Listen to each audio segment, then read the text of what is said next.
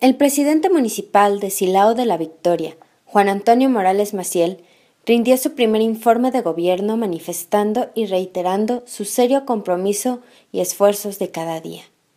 Es así como el alcalde ha dado a conocer los logros que ha llevado a cabo en este primer año de su mandato.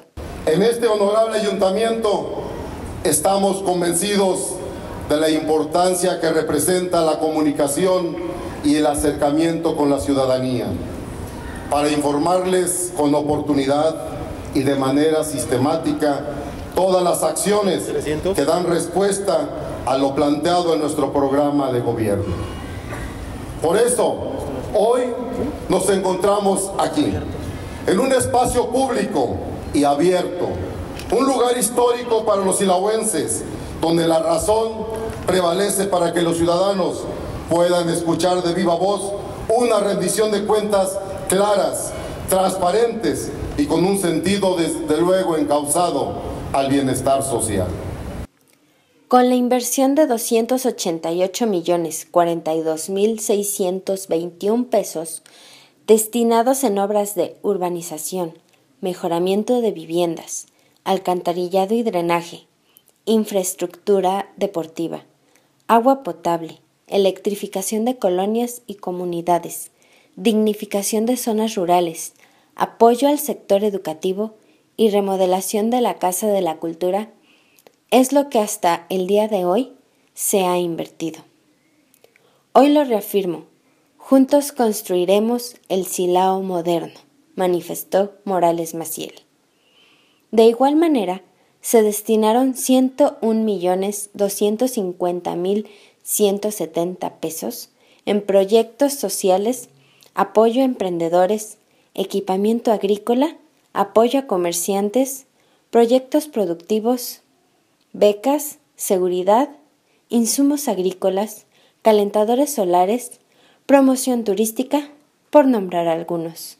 Hoy el desarrollo es una realidad en este municipio, con el auge de la industria automotriz, que nos ha posicionado como el corazón del diamante económico en este país. Ahora, bajo un esquema y concepto de gobernanza, tenemos un gran reto. Sociedad y gobierno debemos impulsar el progreso en nuestra sociedad a través de acciones orientadas al desarrollo humano. Otro punto que cabe destacar es el apoyo económico de los tres órdenes de gobierno, mismo que se ha brindado para el crecimiento industrial de Silao.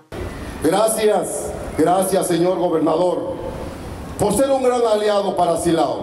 Gracias también desde luego a los delegados que se han sumado con nosotros y también decirlo, gracias a los diputados locales que han trabajado por Silao, Alejandro y Guillermo, también a nuestro diputado federal Ricardo Ramírez Nieto. Gracias.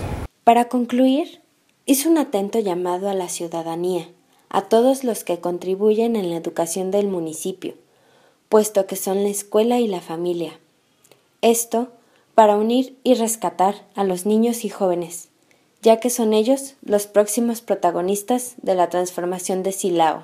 Nuestro objetivo está marcado claramente en un programa de gobierno congruente a las necesidades más sentidas de toda la ciudadanía, con acciones viables y metas realizables.